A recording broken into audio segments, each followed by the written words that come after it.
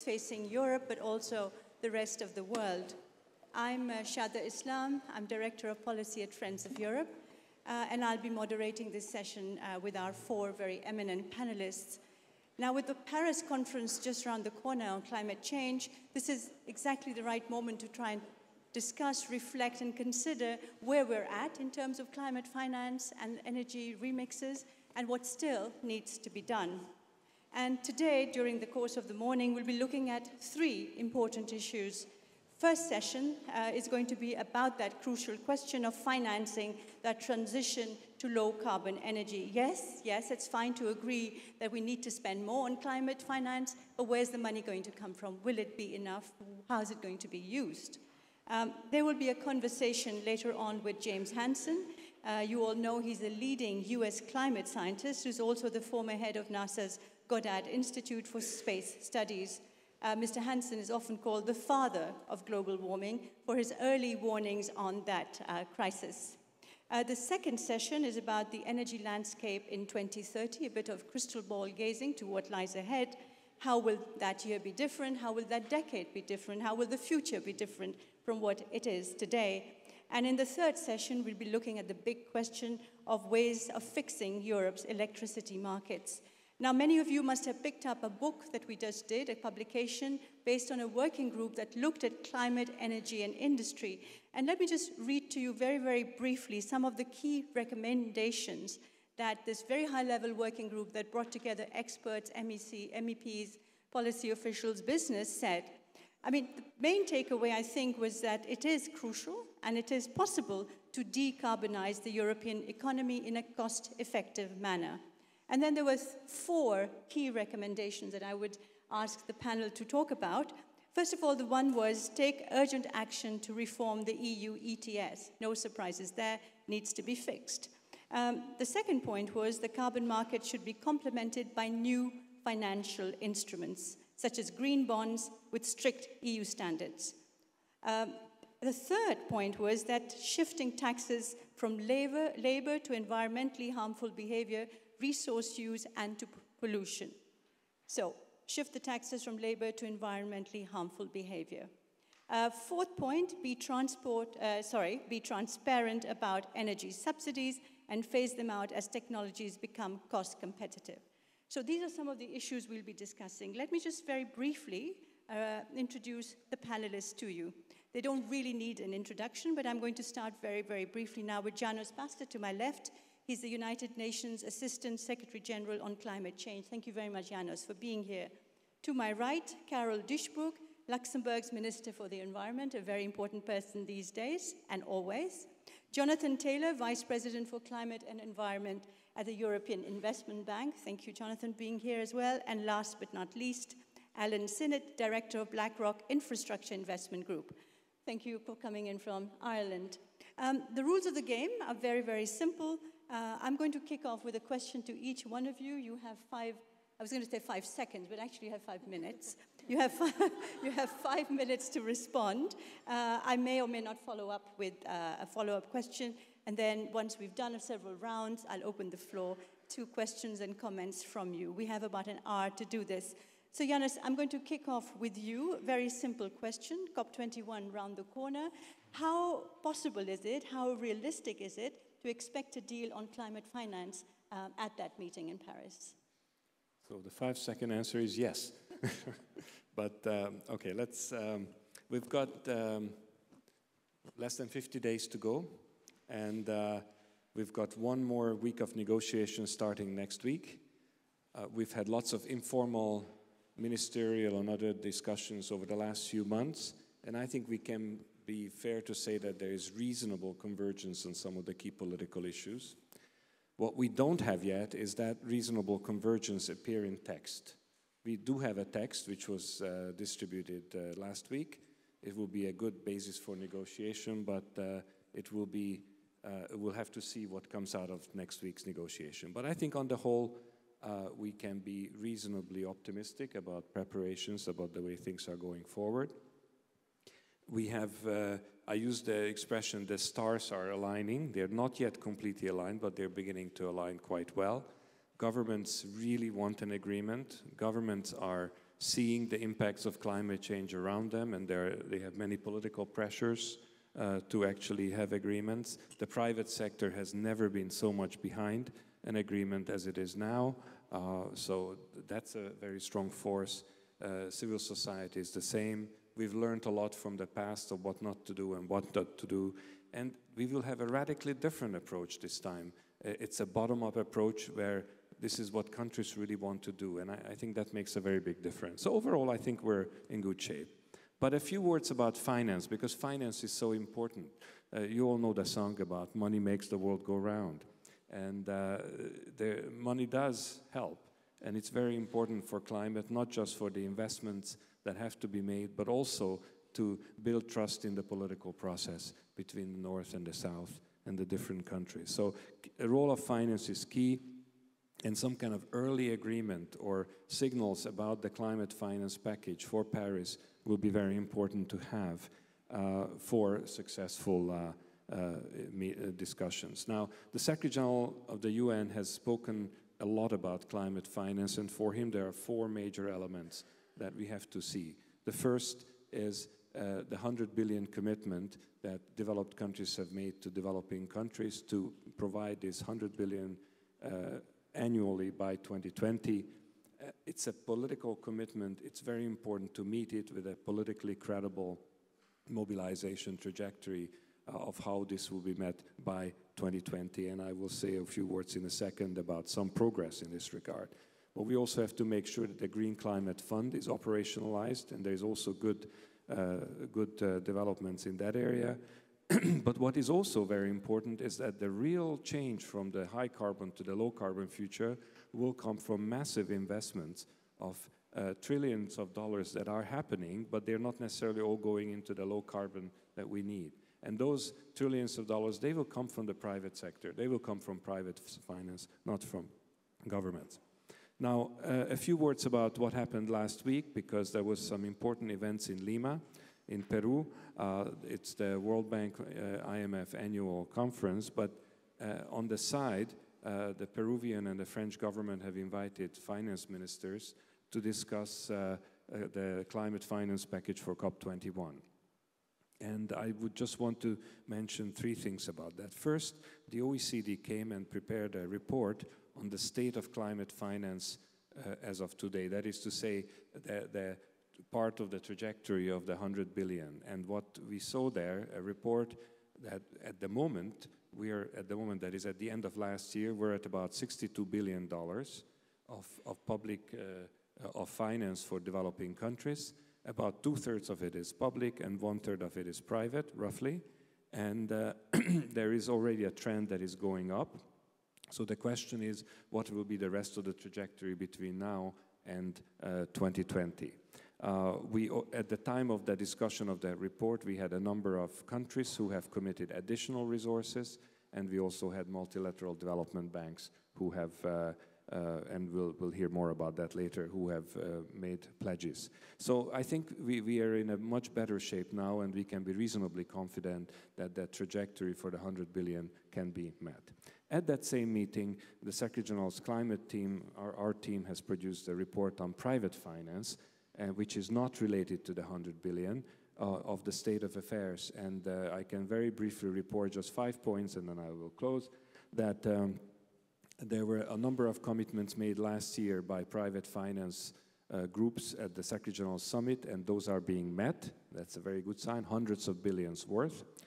Uh, secondly, there is a huge market in green bonds uh, that is, it's not that huge yet, but it is growing and it's broadening out. That's excellent developments there. There are increasingly companies that are using shadow price for carbon. It's a substantial development. And in the secondary markets, there is generally nervousness and concern about companies that have carbon risk in their investments. And finally, the insurance companies are going through, uh, in a major way, responding to climate change, both to as, as insurance companies, but also as investors. So overall, there is a trend taking place in the private finance sector that is very positive, and uh, what we need is now governments uh, to help to change the rules to improve the situation, and then they can go faster. Thank you. Thank you. That was very comprehensive. Thank you very much. I'm sure we'll have questions on that. Uh, in the interest of time, I'm going to turn now to Carole. Um, Janos has painted a fairly positive picture of how things are moving uh, towards the Paris meeting. Uh, the Environment Council recently, the European Parliament just yesterday, talked about the need for the European Union to be a very active participant and to actually scale up its own commitment to climate financing. And I was wondering if you could tell us Carole, a little bit about whether you think this is going to happen and what are you doing about it? Yes, uh, good uh, morning, everybody. It's a pleasure to be here. And um, yes, climate finance will be a, a, key element of the Paris Agreement, uh, of the Paris package, I might say, because if you talk about Paris, it's important to see that, yes, we have an agreement, which we are working on the text. We got a short text a few days ago. We will have to, so to solve finance in order to create trust. And if I say solve the problem of finance, that means the political decision of having 100 billion a year by 2020. So uh, on this issue, we are working very hard on the environmental minister side, but also on the finance minister side. So in July, we had on the environmental minister meeting uh, not only Jonathan Taylor, but also uh, Hela Cheikhrouhou from Green Climate Fund, which will play an important role in climate finance. And we presented a toolbox of all instruments already existing now, um, like, um, like multilateral banks, like funds, like uh, what G7 outcome of the insurance sector. So lots of initiatives are already uh, helping to scale up climate finance. And then we got in the last months some of the European member states scaling up what they promised to do, as Germany, UK did, uh, France did, Luxembourg did too. So lots of good and positive momentums. For example, for three, three weeks ago in New York, there was some uh, announcement, and what we see at the moment, Europe is already delivering a lot, is giving positive um, movement to this finance issue because it will be key to create trust. This is the political commitment we made to have 100 billion. But what is more important and what is part of the Paris is really that the Paris Agreement will be able to shift the investment, to have a paradigm shift in investments. In order to do so, we need a good framework with robust rules. So in this um, in this um, working field, European Union has had a mandate on 18th of September, and I will highlight the three main points. So in order to shift investments, in order to have predictability, which is really important for business and civil society, we need a good long-term target telling us a clear tra trajectory to have, we call it in a European language, near zero or below at the end of this century, a clear tra trajectory that there's no way back, that we have to shift the investments. We have to translate this two degree target in order to be understandable by everyone. Secondly, we need, if I just came back from Rabat, where we had a forum about uh, intended nationally determined contributions, so every country and we have 151 parties who submitted their INDCs. So now we see that 90% of the worldwide emissions are covered by plans that national governments are making. This is a real movement, it is a real big momentum to say that 90% of emissions are covered. So we're going to this global, because the Paris Agreement has to be a global agreement where, which is inclusive and to take so that everyone will take part of it. So we have these INDCs, but these are not only numbers, but they have to be implemented. In order to do this, we need this long-term target and we need to fill the gap. Because if we look at the INDCs, we are not going to reach our two degrees target. And in order to fill the gap, European Union is very hard working on the, on the uh, five years uh, ambition mechanism in order to scale up, to regularly review, and then scale up our ambitions. Because we know if technolo technology evolves as fast that we will be able to scale up our ambition in order to fill up the gap and to be credible. and to meet the target. And the third thing on the European uh, mandate is that the agreement has to be transparent. Uh, we have to have accountability, so it needs, the text needs to be strengthened. We have to have good rules, and this is the key issue, I think. We need to have good political rules in order to have this paradigm shift in investment, in order to move private sector to invest, because the investments we made, for example, in infrastructure, these are big investments, and they have, and we need them for a long time. So we need to have urgent action. That will be my last point. We see that if we look at Paris package, we have Lima Paris Action Agenda, and this agenda shows that the revolution is already taking place. That cities are doing so much, that there's so much movement outside world, and we need to translate this also in the Paris Agreement, in, or in the Paris package, I may say, in order to show that it makes economic sense to shift as fast as possible. Okay, I'm going to come back to some of these issues that uh, have, have, raised. I mean, we're getting some very good vibes about what's happening, but you know, the proof of the pudding is in the eating, as it were. So we have to look at how this uh, money can actually be raised. But let me turn now to, to you, uh, Jonathan. Lima, the multilateral development banks, Janos referred to their commitment and to their uh, important contribution to this. Give us a little bit of your insight on what really is happening there or happened there.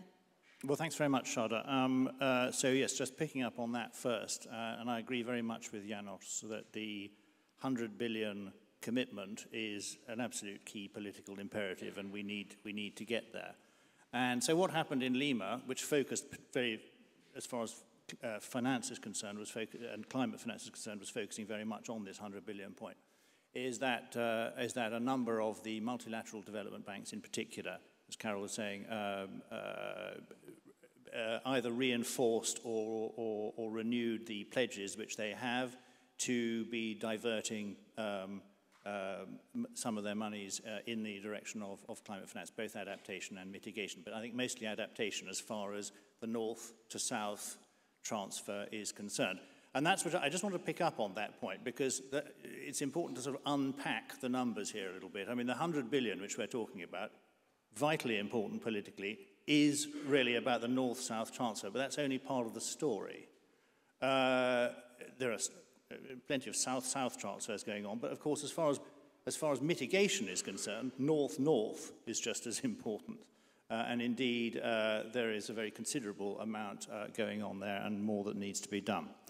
So I think that in that context, those pledges were, were very good. I mean, we, my institution made a, made a pledge to up the proportion of monies which are going to, uh, uh, to, towards climate in the countries concerned related to the uh, OECD CPI paper. I won't, I won't, won't, unpack that one too much, but to, to, to raise that to 35%. Uh, and we have an overall 25% commitment anyway, as far as all our lending is concerned, which amounts to last year 19 billion euro. But I think it's not just about money. I think it's also about where, where the money goes. I think it's focusing on impact. It's focusing, as I said, on adaptation. It's focusing also on mainstreaming. And I think that we need also to be making a much bigger collective effort in terms of our data gathering, in terms of our definitions, in terms of the way in which we measure all these things, because otherwise it's going to be really quite difficult to, to, to, to, to benchmark ourselves against them. That is something also which the multilateral development banks are working very intensively on in order to make some progress in that, in that way. Uh, private finance, though, ultimately is the key to this because uh, multilateral development banks and indeed public finances generally can only provide part of the story. So we need to think of ways of uh, getting and attracting private finance in. Uh, the MDBs are working on instruments. Um, I'm very happy to go on at some length about the instruments which, which, which we've developed, but, but, we're, but we're all working on that to try to get that private finance in. Green bonds is another important, uh, important aspect of the, of the story. Uh, that's, uh, um, we were pioneers of green bonds in 2007.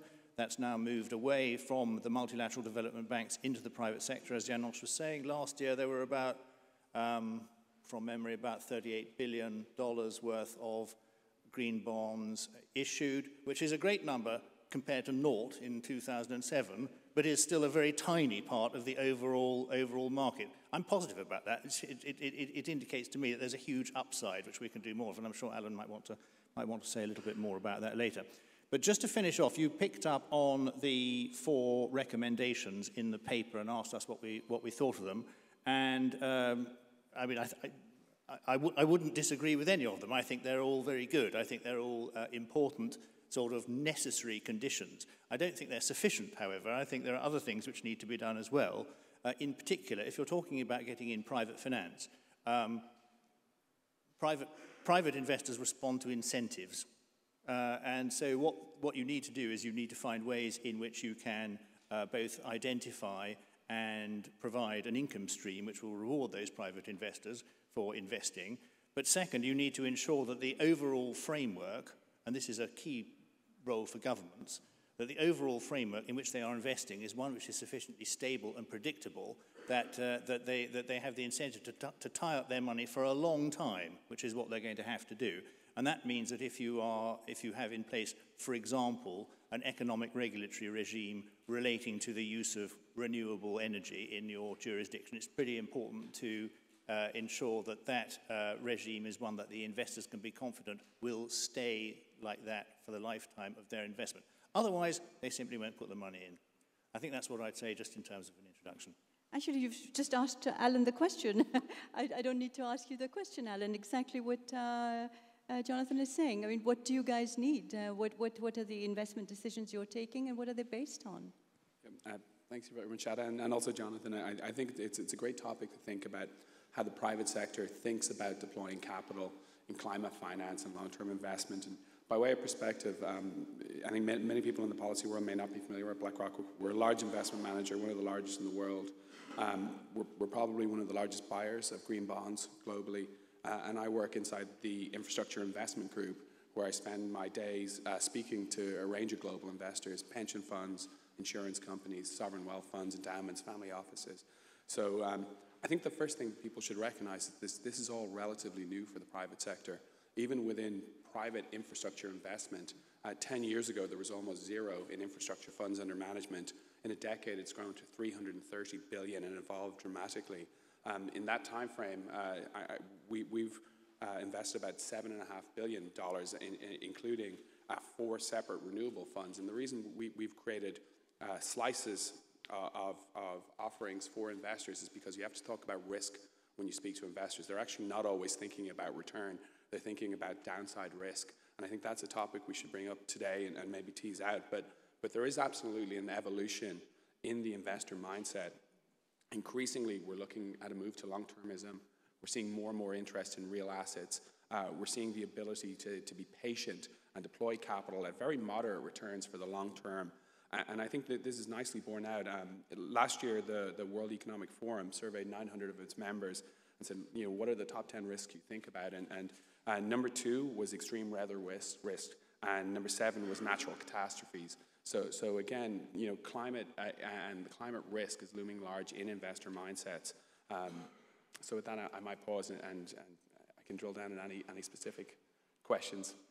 Thank you very much, Alan. You've actually been very, uh, very, very good with the timing. So I'm going to actually follow up. And, and, and when we talk about new forms of financing, when we talk about new sources, new products, which, which are the ones that you think are the ones that really investors are keen on and go for? Yeah, I, I think um, again, it's it's not one size fits all, and I think that's what people really really have to, have to understand. Um, but but the more you think of a common language of risk, especially in equity inv- investment, the more investors become comfortable where they can allocate capital to along a risk spectrum.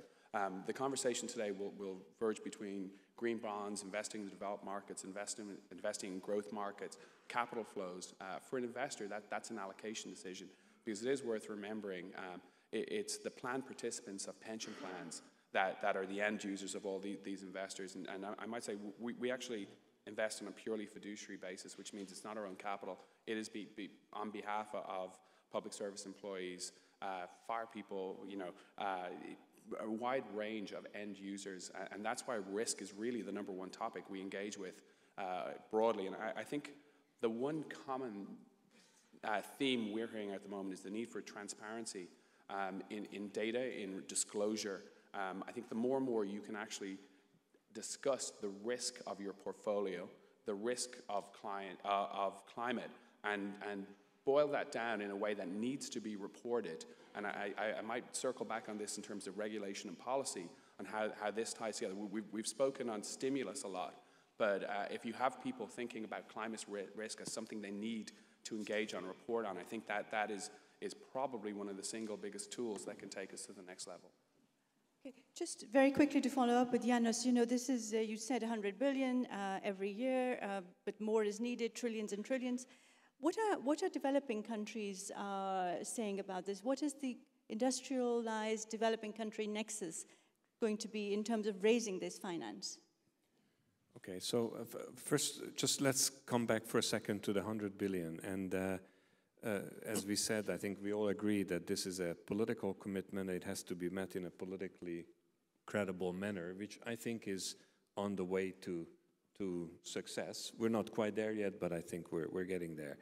But it is nevertheless very important, serious money for small countries, small islands, uh, least developed countries where market penetration is not that good. They're too small for the big companies to engage in, in any serious way. So there, a few billions here and there make a big difference.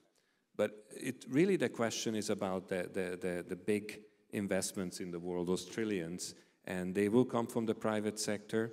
Uh, it was interesting, uh, Jonathan, you mentioned the, the north-north, and, and, but there's also south-south, and there's quite a lot of it.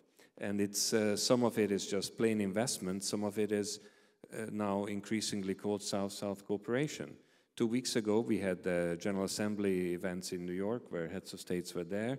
Uh, the president of China came with lots of very positive messages in his pocket about uh, uh, climate change related issues, and he also came with a few billion dollars in his pocket for South South cooperation.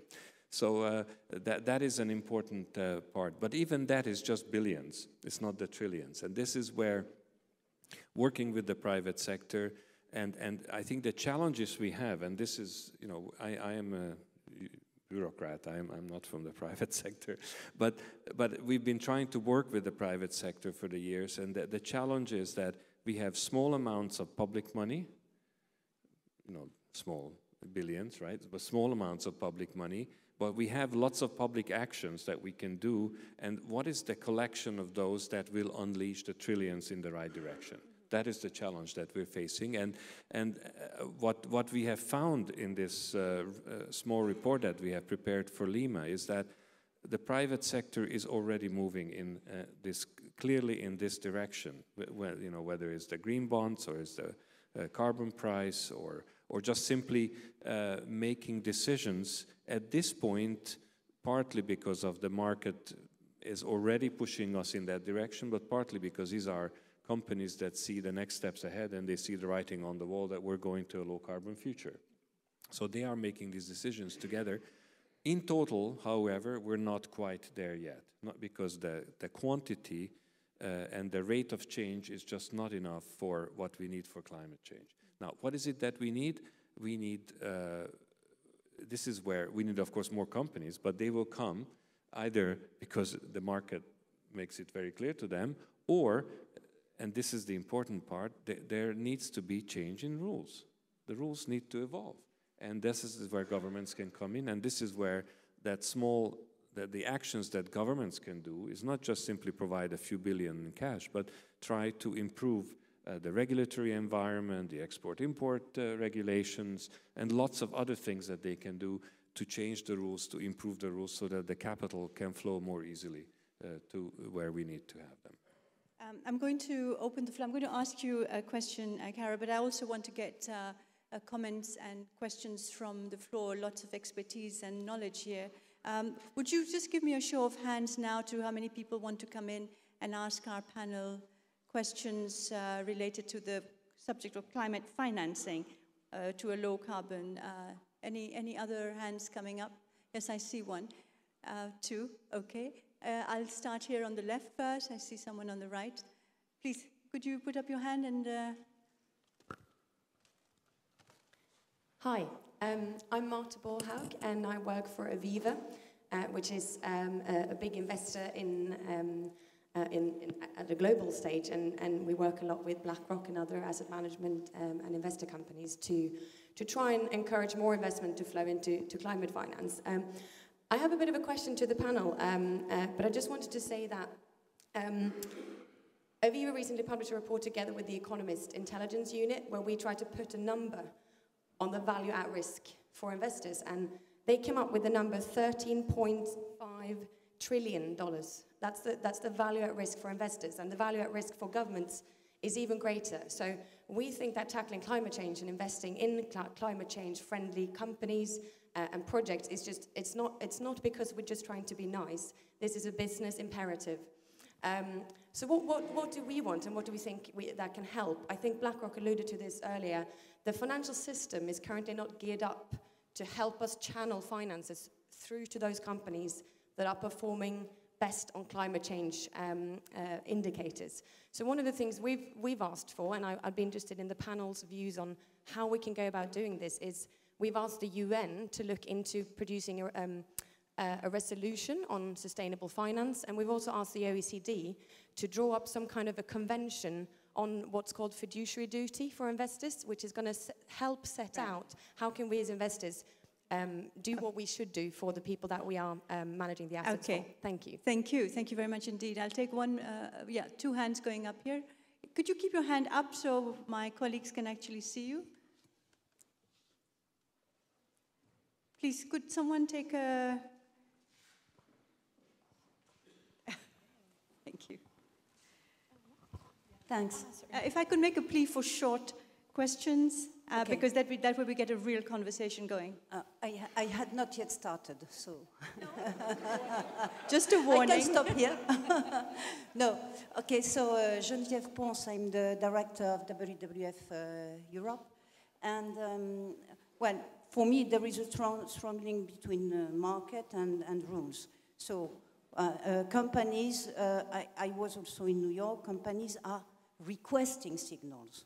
And they are requesting a carbon price, and they are requesting a tax shift. And uh, I would like uh, some of the speakers to come back on that. That was the perfect length for a question. Thank you very much indeed. Uh, I'll take one more lady at the back. Hand up. Please keep your hand up so my colleagues can see you. Yes. There, the hand that's up. Yep. Uh, come to you as well. Please go ahead. Thank you. Um, Stephan Singer, Director Global Energy Policy for WWF. I have a question um, regarding another financial mechanism which has been agreed by the party, which is not adaptation mitigation finance, but nevertheless a very important agreement by the UN, and this is loss and damage. For those who are most vulnerable, most poor, which need to be compensated in one way or the other. We do not see much movement in that one, but it has been agreed. So Janos, in particular, I'd like to hear from you what steps the uh, UN might take to leverage funding, which is not, um, which is not money from the private sector. Let's be honest, it's not profitable. And also from um, the European Union, I would like to hear more about potentially supporting the loss and damage because it is a key issue, creating alliances with the most vulnerable countries and the AOSIS countries, the small island states. Thank you. Thank you. And I'll take one question here in front. Please keep your hand up. My colleagues can't see otherwise. Could you bring a microphone here in front, please?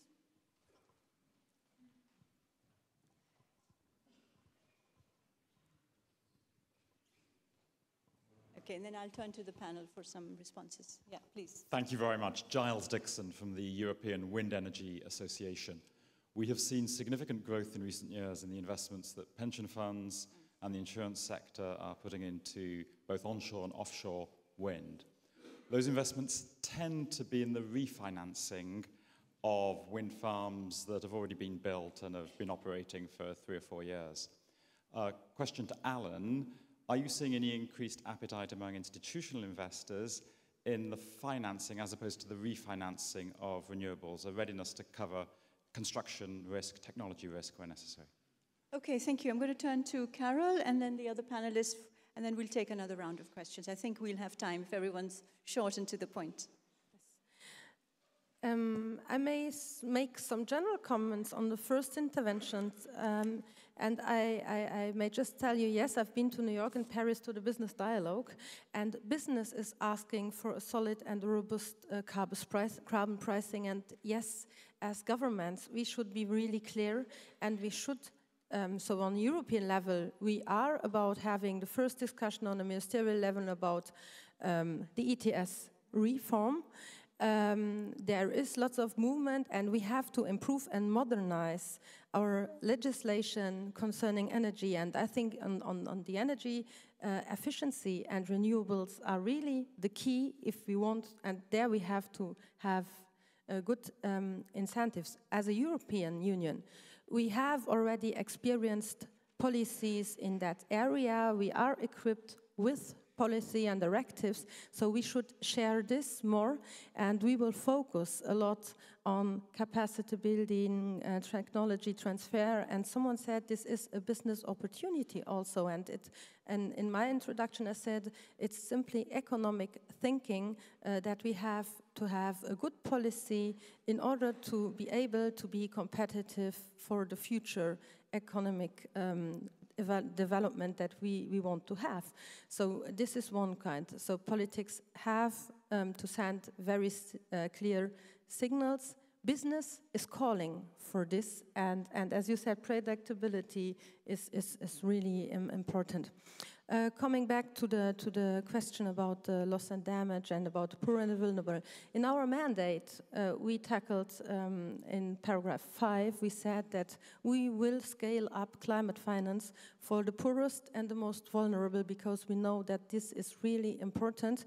And on paragraph 14, we recalled the will to um, scale up finance and to have this 100 billion. So we we have this twice in our mandate, and European Union is really aware that this, this will also be crucial in order to have the ambitious framework in Paris that we need in order to have everyone on board because it's not simply promising something, it's really about security and saving lives and uh, living uh, and the planet. So we are aware of it, this and um, we, we declare that we will scale up what we do, not only on mitigation, but also on adaptation, which is really important also for the outside world, not only EU.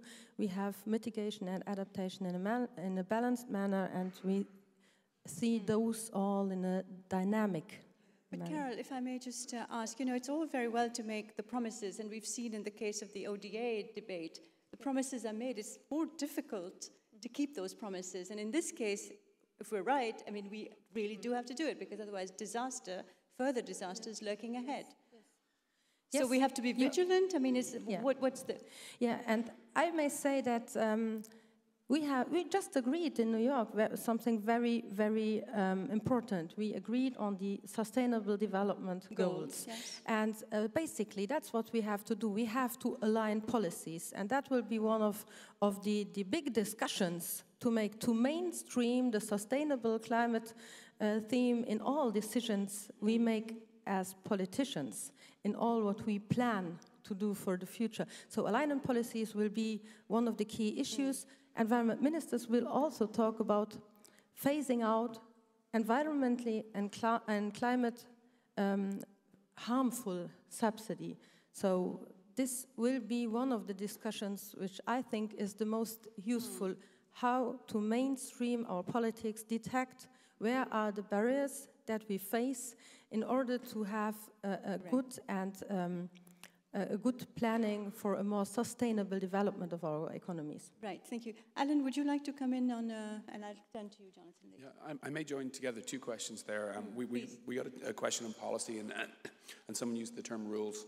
And then we, we got a uh, you, question. Your, yeah. And then we got a question on um, refinancing, which, which in a broader context is really about direct capital to new projects. so financing new build of, of wind and solar. If I may, the, the first message the private sector might give to the public sector is, is the public sector ha hasn't really done a great job on changing the rules. Um, it, I, we, we, you know, we started seeing capital flow to Spain. They changed the revenue policy. Um, Australia introduced a cap and trade policy for carbon, changed that after two years. Uh, in the US, our renewables policy changes every two years. It works in two year cycles for 25 year assets. Uh, in the UK, as recently as this year, there was no harmonization between the Department of Energy and Climate Change and the UK Treasury when they changed the tax regime for UK renewables projects. So there's a consistent pattern of changing the rules from our perspective. So when we look at, at, at where the risk is, it's elevated. Therefore, the cost of capital to finance renewables is elevated. Um, that's why uh, primary capital has not flowed to offshore because the risk is elevated. People will, will do it, but it, it's at a higher risk premium. Um, we are seeing refi because that's, that's seen, seen as more de-risked, uh, but, but there is also um, a desire to, to, um, to put primary capital in there. And I might say uh, many of the institutions, such as the EIB, um, such as the UN Green Climate Fund. I mean, th there, are, there are things happening that give confidence, but we'd, we'd like a longer pattern of confidence. Mm. very, very fair point. Uh, Jonathan, would you like to come in? This inconsistency issue, I think, Alan, that you pointed to is, is, is a very, very relevant one. Yeah, I mean, I think um, indeed I sort of I, I, referred to that as well earlier on, and I do think it is extremely important. Um, just to pick up on one or two of the one or two of the points which people were making, um, I'm, I'm I'll leave it to Janos to comment on the, on, on, on the UN producing a resolution or whatever. But I mean, on the, on the idea of the OECD drawing up a, uh, a convention on fiduciary duties for investors, I mean, that seems to me to be quite a good idea. Um, it, it, wouldn't, it doesn't seem to me to be sufficiently granular to be sort of actually addressing the problem. I mean, by definition, an OECD uh, uh, convention will be fairly high level. So, I mean, if, if one wanted to pursue that, presumably one would also want then that to be cascaded down into, into individual, uh, into individual uh, conventions in different, different jurisdictions. Um, much the same sort of point actually uh, applies to the points about carbon pricing and tax shift, because I completely agree on the sentiment. So get me wrong on that. But I'm just, uh, I mean, as far as carbon pricing is concerned, we have a mechanism which doesn't work terribly well. Um, what we do as an institution uh, is that when we are making our own uh, uh, decisions about where we're going to lend to, we build, we build carbon pricing into the project appraisal and we use a number depending on how long the project is, but we're using, we use a number internally of about 30 to 50 euros per ton, which is about what six times the six times the current price of the ETS. So we're doing that for our own internal purposes, right. and I mean I would encourage others to do that too. Whether you can get people to do it on a top-down basis, I'm just less sure about. And that also applies to the point about tax, because I'm, again, I'm all for sort of um, putting subsidies in the right place and removing, removing subsidies from the wrong places and shifting taxes as, as far as one does it. Um, but it seems to me that at a, at a policy level, you can set this at, uh, uh, internationally, you can set this only at a relatively high level heaven knows, we don't find it very easy, even within the European mm. Union, or indeed even within the EU 15, to arrive at common tax rules. So it's not going to be that easy to come up with, with them at a, at a wider level than that. Thanks. Uh, Janos, very, very quickly, yes, if you want to respond, and then I want to take another round of questions, please. So prepare your questions if you have them, and have your hands ready to be raised. Yeah, very, very quickly, so first on the Aviva question. Uh, well, the UN resolutions, that, that's a challenging prospect. So uh, I, am not saying one shouldn't do it, but we need to be very clear what is in there. Uh, but it's uh, on, on, the other point about uh, th this was very, very much part of our report as a second major message that uh, increasingly in the secondary markets there is concern about companies that have the carbon risk. And of course, in some places, some take it as far as divestment, the Secretary General has not been pushing for divestment, but he has been clearly pushing for increasing investment in the low carbon economy. And it was great to see a very strong presence from WWF at this event. Uh, just one more word on the carbon price. That whether, unfortunately, carbon price at the global level will not be part of the negotiations uh, at this time.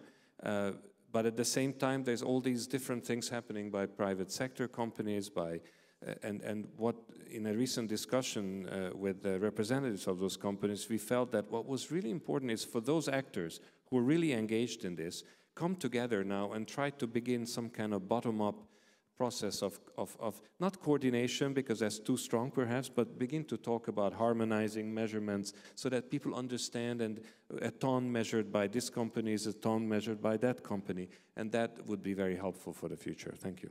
Thank you. Um, could I have uh, another show of hands? Yes, fine. Could I, yes. Um, gentleman over here, and then John. Eberhard Rhein, uh, Friends of Europe. A simple question. We have 500 billion tax subsidies on the, on the earth on fossil products. Can we hope that Paris comes with a strong statement that these have to disappear within the next 10 years? And can we hope, as far as the EU is concerned, that the taxes on fossil fuels, which is gas, would be doubled in the next 10 years? Thank you, Eberhard. Thank you. John, just pass the microphone on to John. Yeah, th uh, thank you. John Cooper, FuelsEurope. Just a short question for each of the panelists. Uh, we've heard a very good um, discussion about the, the future of climate finance, but could I ask each of the panelists what do you believe would be the right criteria for selecting the right projects and the right investments to use this climate finance? Thank you very much. Um, yes, gentlemen over here, and then there, and okay. But if you ask very quick questions, we're doing okay. Um, will do. Mark Johnston from EPC, thank you. Um, Carole, uh, yesterday Parliament fixed its position on Paris and the policies that flow. Um, one of those was a call to use um, ETS revenues as a contribution towards uh, climate finance um, from Europe. Um, so that, that's not on the council agenda now or this year, um, but, and I choose my words carefully, do you do you or your delegation, not the council as a whole, think um, that is something the council should consider seriously uh, when the issue is on your table in the new year? Thank you. Thank you, Mark. Uh, I saw two hands go up there. Yes, please, the lady there, and then that's it. I'll take one more. Yeah. Thank you. Thank you very much. Uh, Lies Craeynest from Oxfam. Um, actually, interesting that the question was just raised. I wanted to, on, on the ETS revenues, I wanted to highlight the fact of the, on, the reports of the $100 billion that uh, as we're looking to deliver climate finance to developing countries, that we're still looking at the aid pot very much to help deliver that money the, to, to, support developing countries. Um, the OECD reported that 20% of ODA is now being used as climate finance with a growing trend. And you, you raised the question as well, Chair, that this is an increasing issue also to, to deliver on the commitment. So um, mobilizing innovative sources is key. Yeah. ETS could actually triple the EU's contribution to the Green Climate Fund. We've done some, some studies looking into setting aside 10% of ETS revenues, which could deliver $3 billion a year. And it's a, a really important uh, source to help, particularly with adaptation and possibly also loss and damage um, in, in, a post-2020 yeah. scenario. Thanks. Thank you very much. I'll take one question. Uh, sorry, but you know, this conversation is for the day, so we will continue. Just one there, right at the back. Yeah. Thank you, Pascaline Gaboury from the Global Relations Forum. Um, I just have really quick questions. Uh, first one, what is, uh, how do you see uh, the role of China in the Paris negotiation? Second one, how would you define green finance? Is it an interesting concept? And finally, given the challenges ahead, uh, would the 100 uh, billion, would you call it a success in Paris? Is it the main uh, element of success? Okay, that was a quick question, so I'll take a question from the gentleman over here. please keep your hand up. Yeah. Okay, thank you, Jean-Pierre Hernot, uh, Belgian Ministry of Foreign Affairs. A short question. Uh, I'm missing a bit of point on innovation and technology uh, and financing research. So I've been very impressed by what Tesla did on the batteries technology, which is a very huge game changer in, in the future. Where are the public investments? Uh, I don't see really a match between private and public there. Thank you. Thank you. Uh, thank you very much to the audience for very good questions and also being brief. I think we are on a good line here. Alan, I'm going to start with you and go backwards actually this time around. So please pick and, pick and choose. You don't have to answer every single question. Certainly. Um, I, I might, might, start with the criteria question. And um, it, it's, it's not as complicated as you, as you think to price risk. Um, you know, we generally terms th think in terms of equity, but um, most investors also uh, deploy debt capital or credit where there's, there's a very simple and straightforward globally recognized scoring system in term, terms of credit ratings. You start with the risk-free rate, then you look at the geography, the sovereign, uh, the revenue proposition. So um, I, I, don't mean to get too technical, but, but, but there is a, a, a fairly straightforward methodology, but, but the big things that are looked at is the risk-free rate, where that's going, long-term interest rate assumptions, the geography you're operating in, revenue certainty, uh, and, and you can get there quite quickly. Um, in terms of bringing it together as well, in, in terms of disclosure, um, one, one thing I, I, should mention is investors globally are increasingly looking at, at what they own and, and, the need for transparency in their portfolio to shine through. And I think that policymakers can really encourage that. Um, when I leave here today, I have actually a, a call with uh, one of the largest insurance companies where we're working on, on at their demand, uh, to create a template of disclosure of what, what they own and what risks they have inside their portfolio. And last Friday, for, for the very first time ever, we were talking to a US state pension, and they've paid a large global consultant to do specific diligence on ESG risk in the managers they're diligencing. Uh, ESG, I've, I've heard spoken about a lot, but this was the first time we've ever seen a state plan pay to, to, for us to be diligenced on ESG. So I thought that was quite a breakthrough too in terms of disclosure. You like to say something about green finance? Sure. I, I, I think green, green finance is quite a broad term. Um, you know, again, it's easily measured along a spectrum of risk. Uh, the Tesla example is a great example of something that's worked well, but, but I can list uh, 10 or 12 other battery companies that have failed. Um, so there's debate, and you know, you, you can in our world, you, know, I, I, think there was a lot of blowback about Solyndra in the US, which was, you know, in some ways government financed, but there was also a lot of uh, uh, solar technology companies that did progress. So, so on the, that, that's probably on the, the more risk on end of the spectrum, uh, and uh, happy to discuss at length. Coffee time is a good time to discuss these things as well. Please, Carole. Yes, I try to be, uh, um, try to be short uh, Paris needs to, be, to send a strong message. For this, we need a strong agreement, we, and we see that at the moment the text is lacking of ambition, so Europe will fight for more ambition in the text. And I explained it will be a long-term target, cycles to scale up, and, um, and we need good, robust rules, common methodology, accountability, and transparency. That is key for Paris for Europeans, and we're going to fight for that, to have a legally binding agreement which gives a good base. So for the question coming from Parliament, this is really interesting because we're going to have the first discussion among environment ministers about the reform of the ETS. And this is exactly one question I will ask them in a more diplomatic way, but I'm going to tell you what we do at home. So in Luxembourg, we scaled up our climate finance. Uh, we pledged uh, last year five uh, millions, which is nearly 10 euro per person uh, to the Green Climate Fund. And we're going to do this annually from now till 2020. And we scaled up our climate finance to 120 million euro, which means 240 euro per person. We do not only double, we make it five times as high. And we make it on top of the ODA. We separate this. But it will be important to mainstream the ODA, so to have climate also in the ODA and to mainstream our politics. In order to answer the 100 billion question, this is not really a key issue of the agreement for me, but it is enabling to have a good and a strong agreement. This is uh, the, yeah, the trust builder.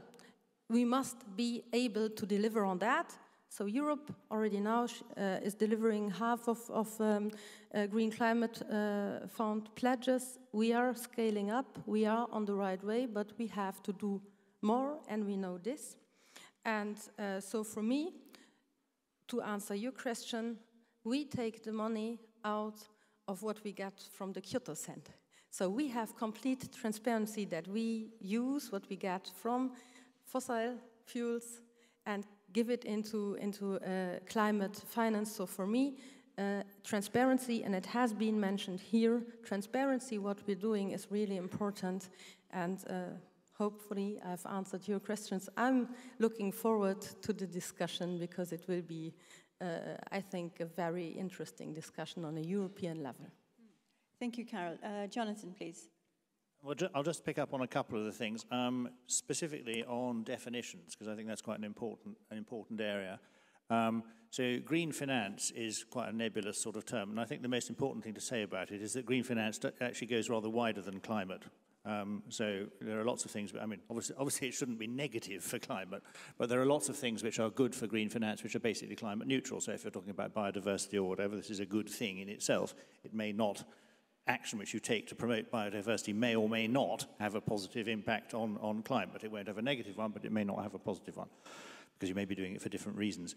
Um, more specifically, I think, just to, just, uh, I, I, uh, as I said um, earlier on, um, we are, and the other MDBs are putting a lot of work into uh, trying to arrive at common terms and common standards for the purposes of defining precisely what we are doing as climate finance and what isn't climate finance. And so it is actually very important to get these definitions clear.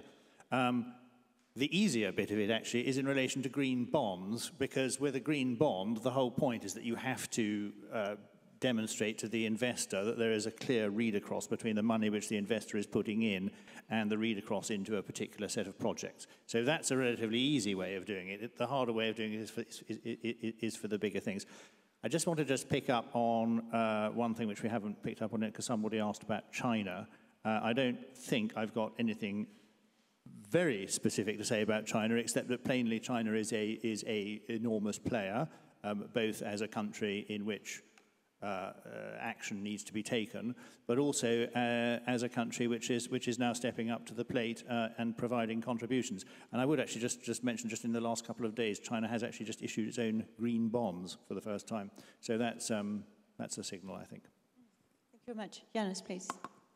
Thank you. A couple of points. Uh, a lot of them have been already addressed. On the fossil fuel subsidy question, I'm afraid that uh, the situation is not that great. We keep reaffirming our previous commitments to get rid of those. Uh, even some of the discussions for the G20 uh, preparations are re reconfirming the 2009 commitment. So uh, uh, earlier this year, I attended a meeting in Washington of finance ministers, and one of them said, if we get to Paris and all we can say is to recommit ourselves to removing those uh, fossil fuel subsidies, then we're really not doing our job. But I'm afraid uh, it doesn't look like it's going to change. so uh, that's not very good. Uh, on the um, uh, Oxfam uh, point, at, the, at, this meeting in Lima, the Secretary General of OECD made it very clear that there's 19 billions out of those 62 uh, that is actually development finance, that is now called climate finance. And, and it's not a shift because it has always been there. It just wasn't called climate in the old days. It's about energy, it's about renewable energy, it's about things like that.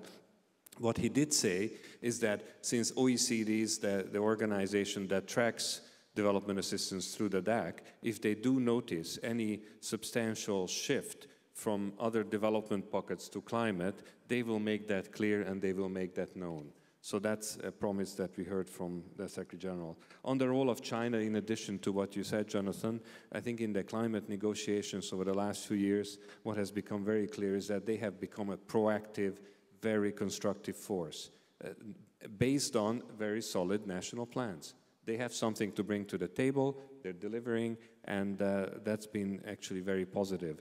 Uh, President Xi, who came to the UN General Assembly his pockets were full of good things to say and also money and also other support. So these are all things that are, they're, they're concrete. Uh, and um, just very briefly on the investment, uh, innovation and technology, uh, this is very important. Uh, we didn't talk much about the action agenda that we will be showcasing at the Paris conference together with France and Peru, but there will be a whole day dedicated to innovation and technology, and I hope you will come to that event and look at all the great things that are happening in the world. Thank you. Mm, great things happening in the world, definitely, I think, but you know, the proof of the pudding is in the eating, as I said, so I think we're not going to sit back and let you guys get get away with anything. Uh, we will keep watching. So, as you said, all of you, and I'm not going to sum up, it's a fascinating debate, many new ideas. But change is happening. It's not going fast enough, and everyone, governments, banks, and investors and private sector has to do much more to stimulate the move towards low carbon uh, landscape, low carbon energy. High hopes for Paris, but as I said, pledges are not enough. So please join me in thanking our panelists. There's coffee outside, and I'd like all of you to be back by about 10.30 because we have an interesting conversation, as I said, with James Hansen. So please, thank you for your questions as well, and thank you to the panel.